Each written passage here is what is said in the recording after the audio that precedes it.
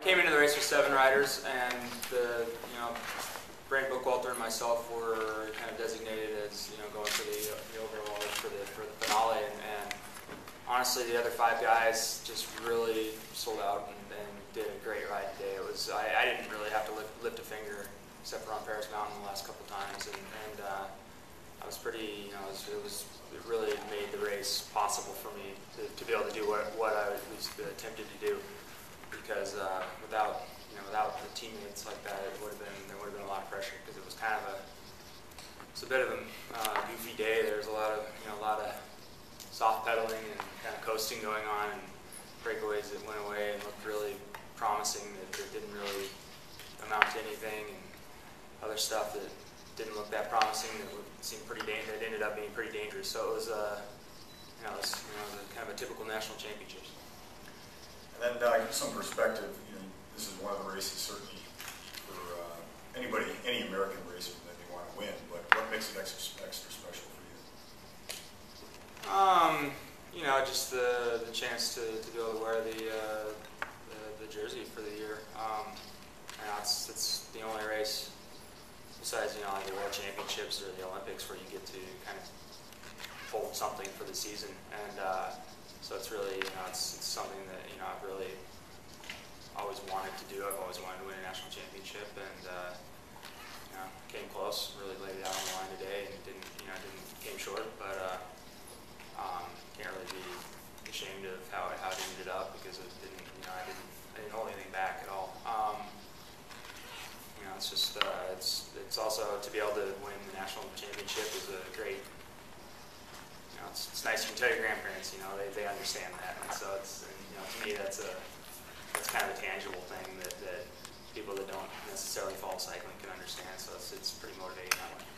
You can describe the wall of sound you hit about 500 meters uh, to go, and obviously it's a pro Hincapie crowd here in, in Greenville, uh, but what was it like?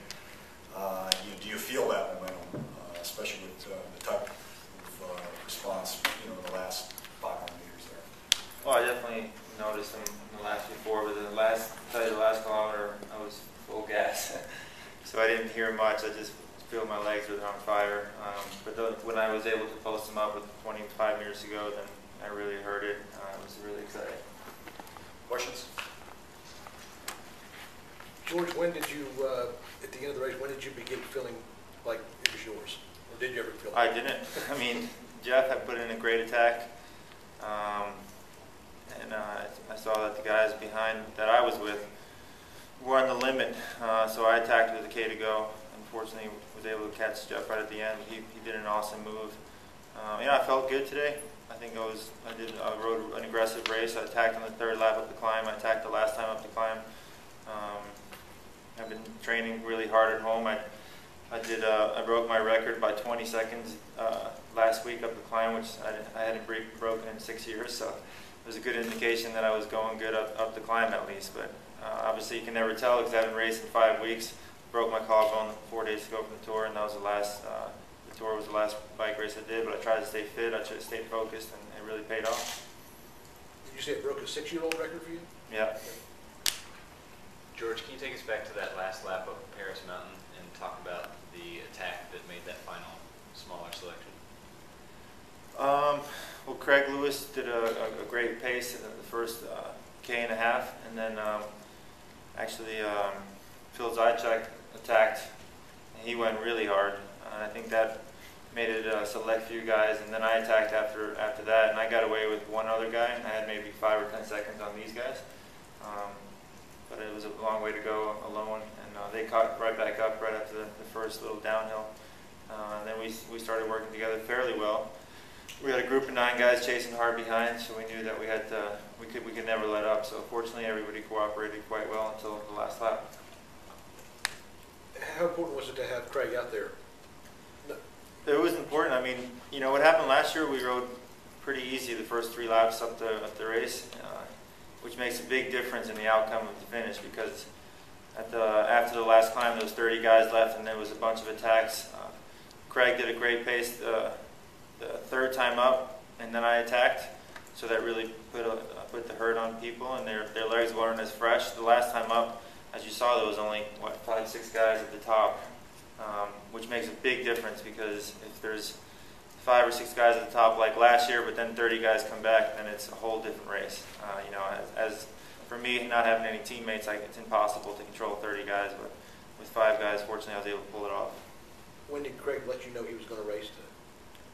Uh, I knew a couple days ago, Friday. Greenville again in front of your family in particular and just all the support from the crowd. Yeah, it's, it's very uh, emotional for me. I mean, it's my, my hometown. You know, I, I always tell everybody how great this city is, and uh, uh, not even winning, but just having the national championships here in my hometown is special. But uh, to be able to, to win with all that pressure, I mean, I had the whole city wanting me to win is a is a great feeling once it's done. Before, it's not such a great feeling because you're, you know, you're, you're stressing out about the race. But uh, I'm, I'm really glad it worked out.